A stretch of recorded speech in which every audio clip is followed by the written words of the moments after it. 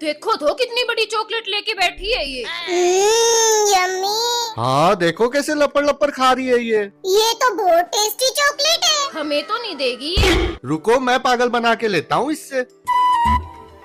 मेरी प्यारी बेटी हिमांशी ये देखो हिमांशी छोटी सी चॉकलेट। तो मैं क्या करूँ? हिमांशी छोटे बच्चे तो छोटी चॉकलेट खाते हैं। पापा